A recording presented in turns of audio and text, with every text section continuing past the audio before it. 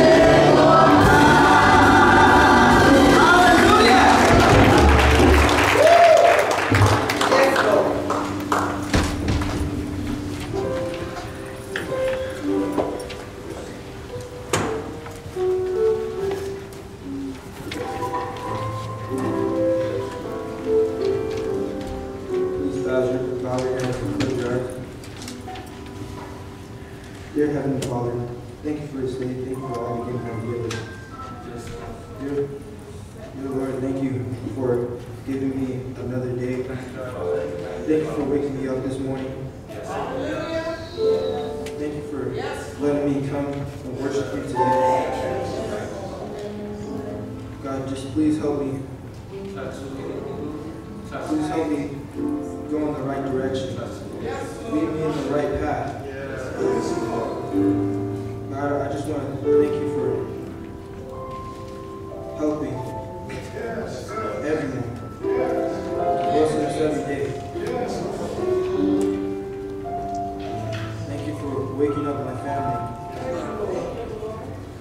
the ill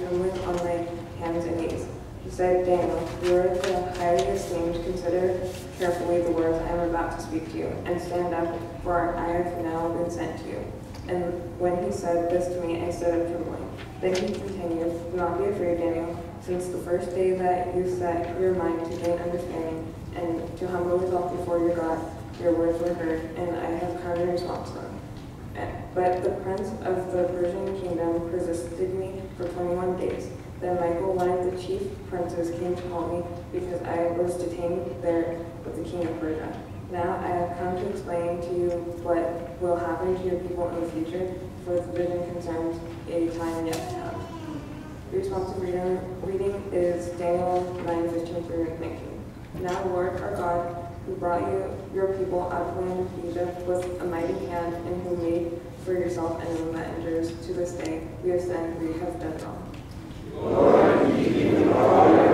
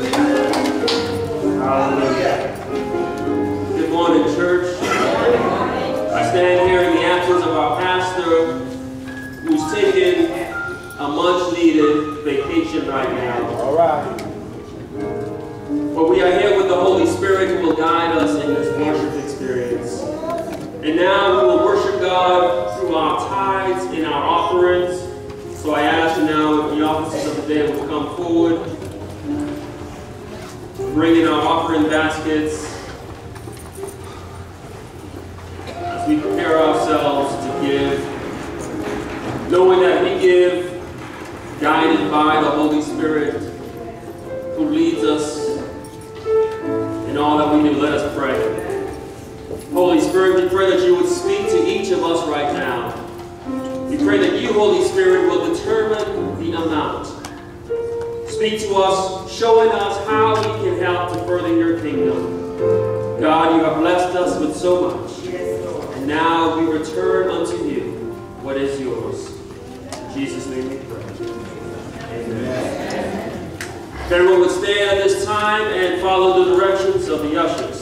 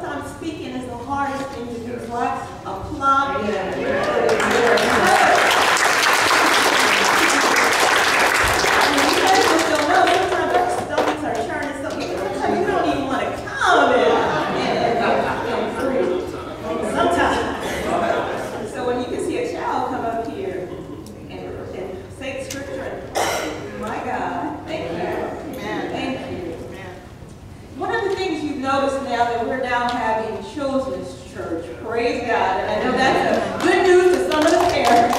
Amen. You can work, you should work undistracted by your child. Trust me, we've all been there. Amen.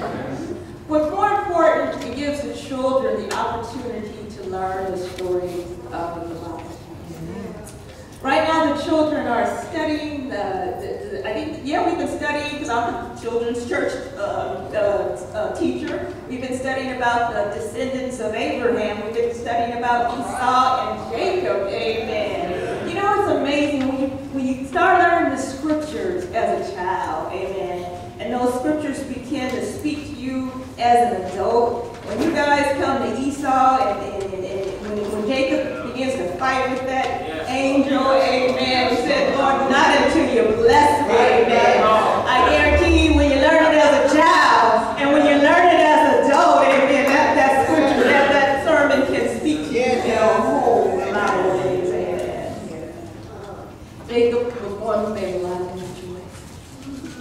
So I want to, you know, right now, uh, all the, the, the, children's church uh, teachers, wave, raise your hand if you're out there? Amen. Praise God. Stand up. You know, that's what, you know, that's the, service to the Lord. Amen. Thank you, thank you. We are looking for volunteers. Amen. So if you have a heart for children and a, gift of teaching, come see one of us. See Reverend Martin. He's in charge. You know, the, children are the future of our church. We have to keep our church alive. And we don't want it to be that we have another visitor come to this church and say that they didn't want to come back because we have children. Amen. So it's a ministry for us to take it very seriously. See, we have to pray real hard for our children they are the future, not only for our country, but they're the future for our church. And after we're gone, they're going to be the ones to hold up the banner for Jesus. Today, I want us to become spiritually battle-minded for our children. I don't know if you know of the song it's called Waging War by CeCe Winans. It says, Waging War. I wish I had it to play. It says, Anoint my head, anoint my feet, send your angels raining down here on the battleground. For your glory, we're taking territory, fighting unseen enemies like never before. We're waging war. And she goes on to say, I'm tired of principalities messing with me. I'm tired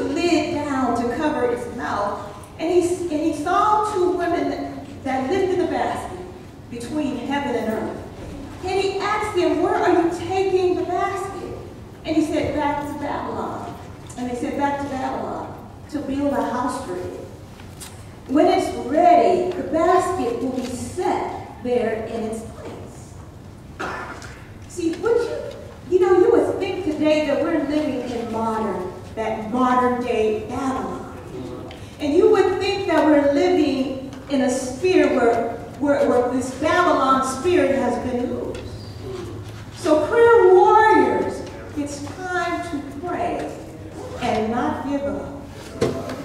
See, there is one in the Bible that gives us hope for our children and how they can survive living in modern day Babylon. And that one is through the prophet Daniel. We learn from him how to pray and not give up. He also stands as a model of one who's a true intercessor and a prayer warrior. See, I would like to draw your attention to the prophet Daniel. The life of Daniel is an incredible study tool for our children. From the whole 70 years that Judah was in captivity, Daniel was there from start to finish. He came in there uh, from about 15 years old. He spent the rest of his life, even though uh, they were released to leave um, and go back to Judah. He stayed in Babylon. He spent the rest, most of his life in Babylon. And to all the children that are here, that are 18 years and under, here's what you can learn from Daniel. You can still, but you can still live a Christian life even while living in an ungodly world. You can learn from Daniel how you can use your God-given wisdom to maneuver in dangerous situations. From Daniel, you, you can learn that you can that if you are ever accused about anything, stand firm and hold your ground and watch the Lord see you through. You can learn from Daniel how to keep an excellent spirit even though some will be jealous of you. You can learn from Daniel how to endure. You can learn from Daniel how he purposed his heart and he knew he was never going to defile himself. Be like Daniel to hold fast to all that you know is right. And be like Daniel to never, never, never lose your faith in God. And to all those intercessors in the house, we cannot stop praying for our children. We can no longer pray for only our children, but we need to pray for children everywhere.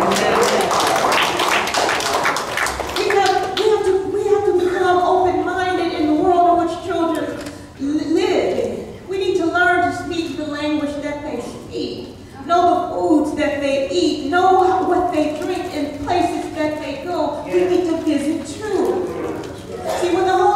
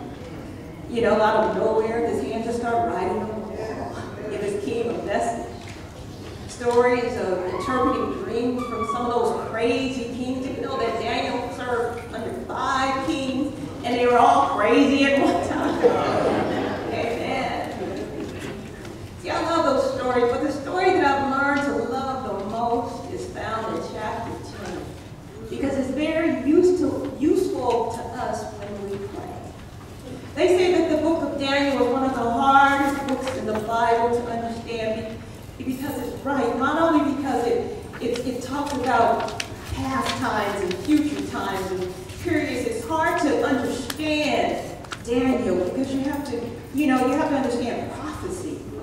My personal opinion, I believe that the reason that the book of Daniel is so hard to understand, is my personal opinion, is because Satan does not want you to know what goes on when you pray. He does not want to, he does not want you to know what happens when you pray. There's warfare going on. So let's, let's turn to the scriptures and I'm gonna, you don't have to stand, but I'm gonna read it again. Daniel chapter 10, 7 through 14, it says, I, Daniel, was the only one who saw the vision.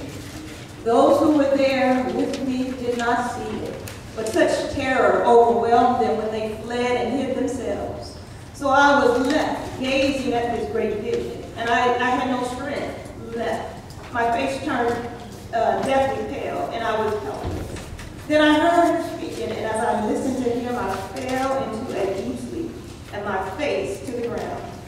A hand touched me and sent me trembling on my hands and knees and said, Daniel, you who are highly esteemed, consider carefully the words that I'm about to speak to you and stand up. For I have now been sent, sent to you. And when he said this to me, I stood up trembling. Then he continued. He said, Don't be afraid, Daniel. Since the first day that you set your mind to gain understanding and to humble yourself before your God, your words were heard in heaven, and I have come in response to them. Then here's a good part. He says, but the prince of the Persian kingdom persisted, persisted me about 21 days.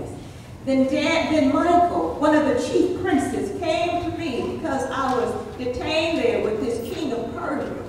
Now I came to explain to you what will happen to your people in the future, for the vision concerns a time yet to come. Amen. A spiritual warfare going on. To God. See, this is a passage of scripture that shows what, what goes on when you pray.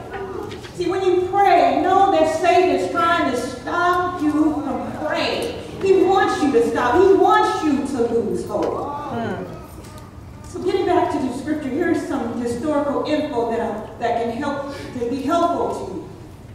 I would like to point out that during those that, that during that time period of this passage of scripture, Daniel is an old man, probably about 80 years old at this time, and around this time the Jews would be leaving their 70-year captivity.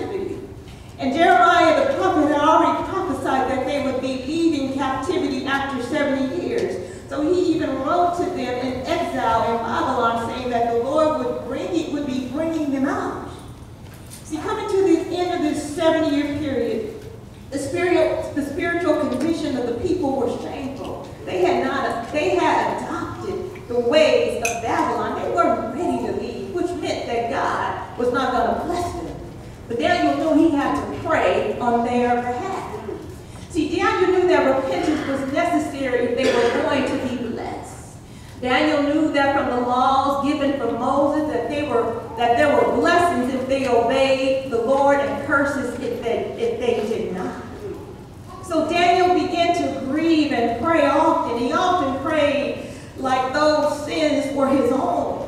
And chapter 9 is a, is a precursor to chapter 10. It's one of the greatest intercessory prayers in the Bible. And, and Daniel was praying. He said, Lord, our God, who brought our people out of Egypt, which is with your mighty hand, who made me, who made for yourself a name that, in, that in, endures. So this day we have sinned. And just goes on to pray. And he confesses not only his sins, but he speaks on, the, on behalf of the sins of, of, the, of, of all of them. He says, Our God, hear the prayers and the petition of your servant for your sake, Lord. That's Daniel was an intercessory prayer. He knew how to pray. There are times when he prayed three times a day, and he prayed. So here, what's going on in chapter 10 is it, it shows what's going on in the heavenlies while Daniel is praying. See, Daniel had been fasting and praying for three weeks. And an angel that had been trying to get to Daniel to answer his prayers. This angel was trying desperately. You can imagine what's going on in the heavenly. This is something that's going on that can't be seen with spiritual eyes. This angel came to Daniel was telling what's going on. So I just want you to know there's spiritual warfare going on even when we pray. Amen. And the angel had been trying to get to Daniel to answer his prayers. And during those 21 days,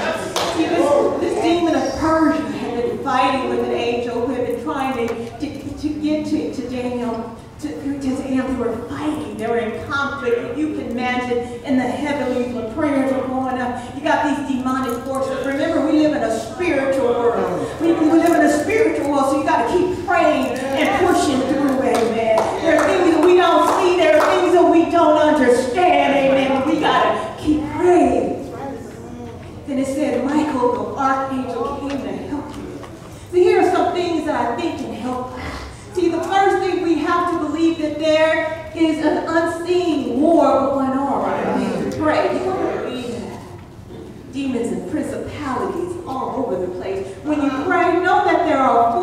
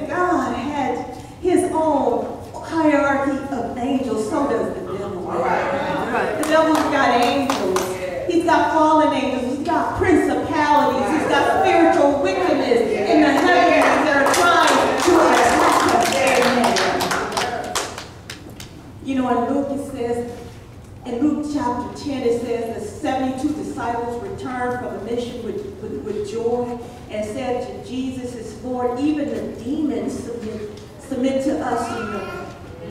In reply, he says, Jesus replied, he said, I saw Satan fall like lightning from heaven. I have given you authority to trample on, trample on snakes and scorpions and to overcome all the power of the enemy, and by nothing shall by any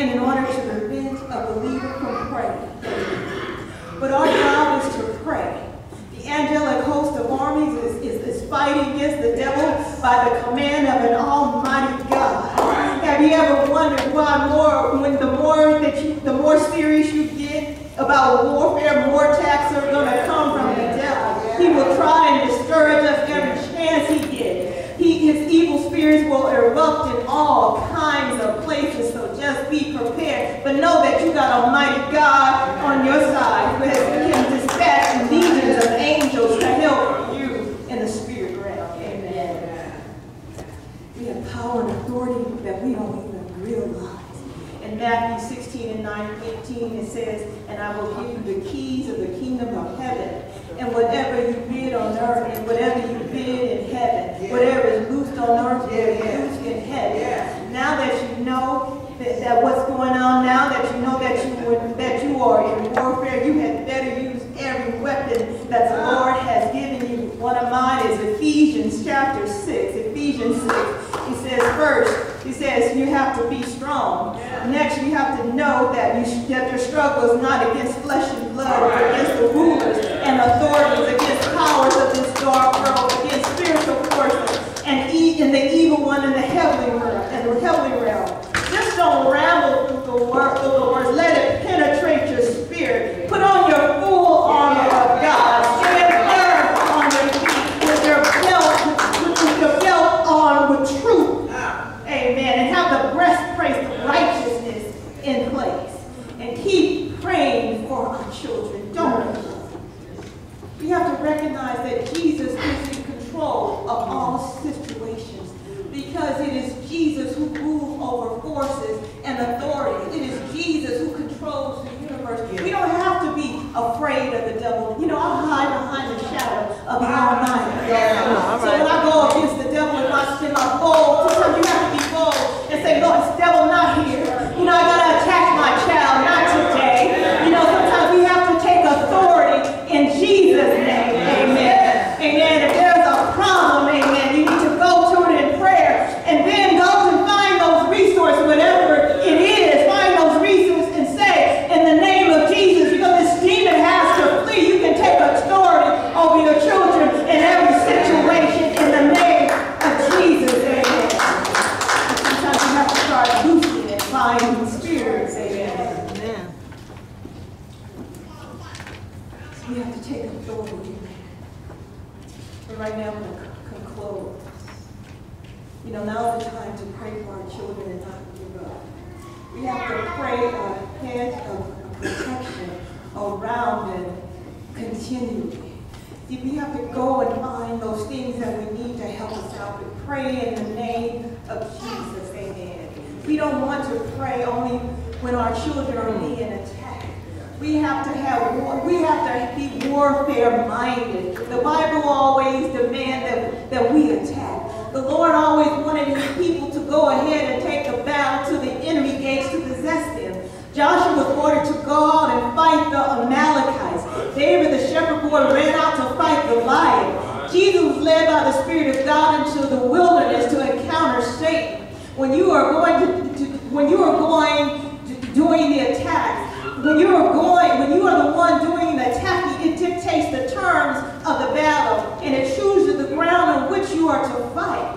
But the power, the, uh, by the power and authority that Christ has given you, we can do warfare in the spirit realm if we are ready. So it's time now to blow the shofar.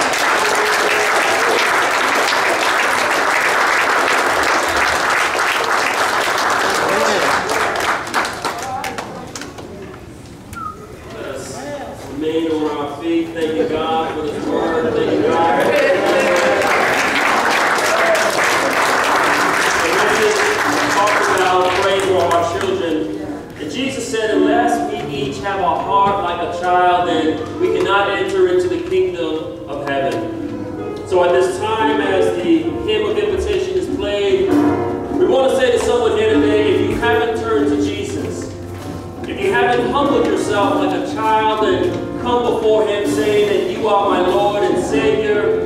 We want to extend this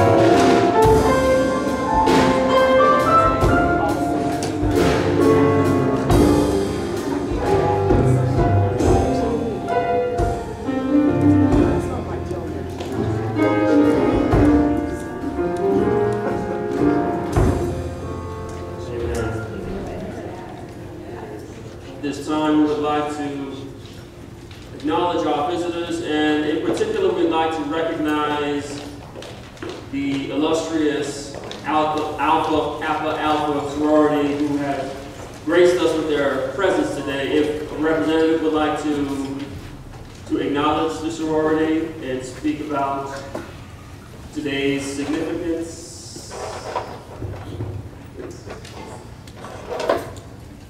Good morning, everyone. Good morning. So all praises be to God.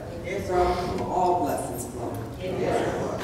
So I'd like to say to Pastor Odom and First Lady Odom in their absence, Reverend Patricia, yes, uh, the minister, associates, other officers, saints, members, uh, Bethel in Church, good morning.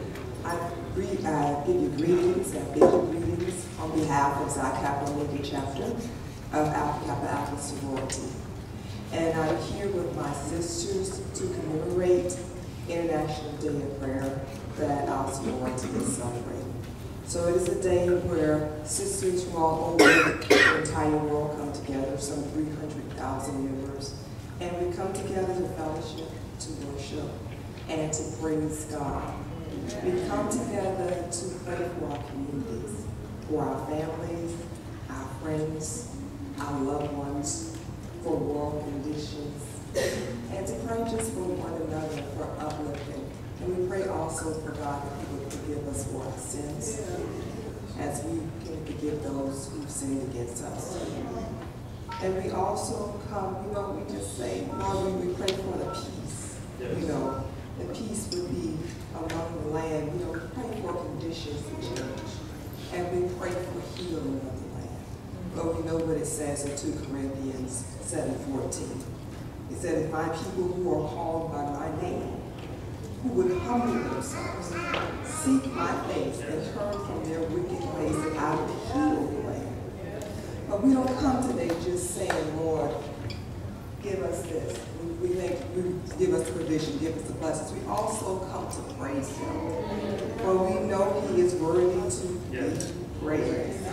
For He is the Alpha and He is the Omega. He is all in our all. He is the lover of our souls. So we come today to say thank you, Lord. Just thank you. So, you know, in, in this day and time where there's so much going on in the world, we know, as Reverend Patricia said, we need prayer. Know, we must pray without ceasing. But we know that in our prayers, that God us, and that is our praise, Mm. that we get through. It is the prayers and the praises will get us through these circumstances that are are facing our community and our country. So, Lord, we, we ask and we say thank you. And we just ask things that we could pray, continue for one another, to be uplifted, and to believe that what we pray for and have faith that it shall be done in Jesus' name. And so at this particular time, I want to say thank you for the invitation. I looked at the bulletin, it was so gracious of you all to do that. Um, I got a call from Sister I said, do you want to do this? I said, I don't want to do nothing out of protocol. If it's not appropriate, don't put it there. You got to do what, you know, God says the Lord, and the struggle for the church. We are obedient. But I thank you for the invitation. And you know, uh, it's always a pleasure to be here at Bethel Bamboo. So bless you, everyone. Amen. And thank you. We we thank you. Donation that we are giving to the church. So just give us a Thank you. second, we'll put that in Thank you. you all's hands. So thank you Thank very you. much. Thank you. God bless. Any other visitors with us today? Any other first-time visitors? Any other visitors who haven't been with us in a long time? This time, we don't want to put you on the spot. We just want to show you that we love you, recognizing your presence, seeing that we're all family.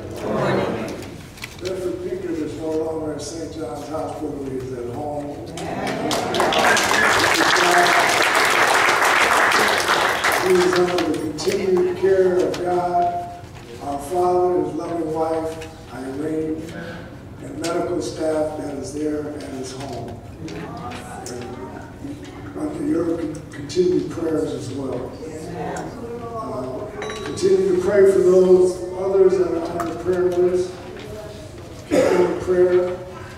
Let us continue to be faithful to God that He is the healer. If there is any persons that are different locations that is one in the clinical bulletin, please let me know after worship. Either let our secretary Toby know, and uh, we'll follow up on that as far as visitation with Reverend Pinker, visitation is limited.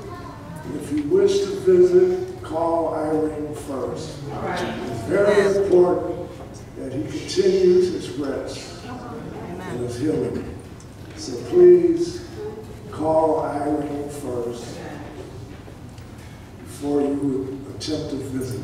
Thank you. God bless you. Have a blessed week.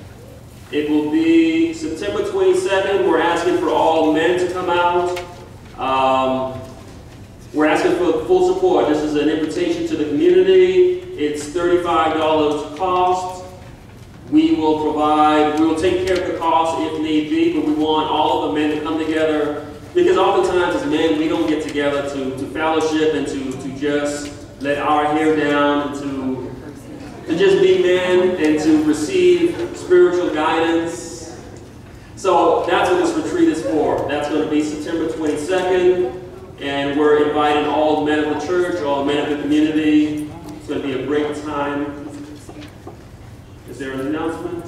Additional announcements? Please feel free.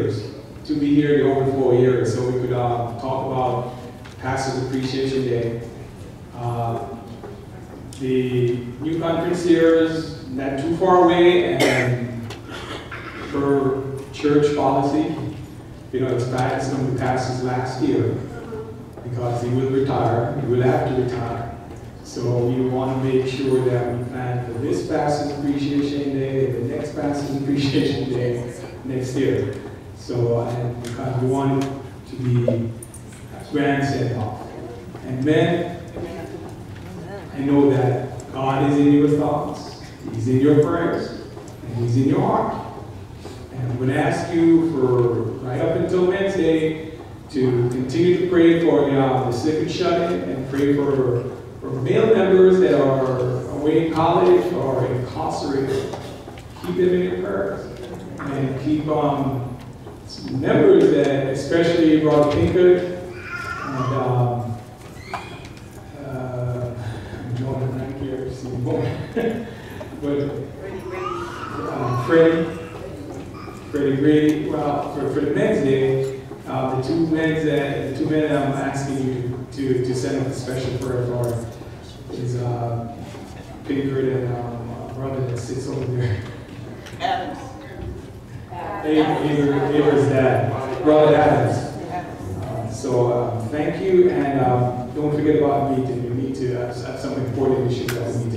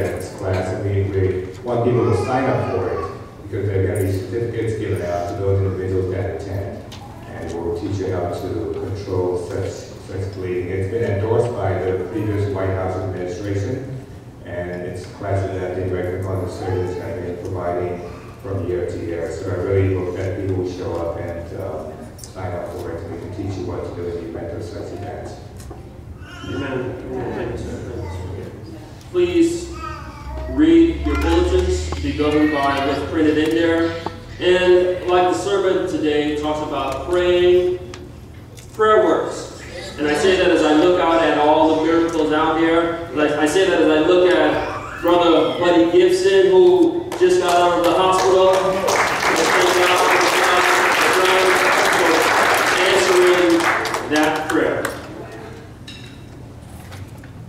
Praise God and home all blessings.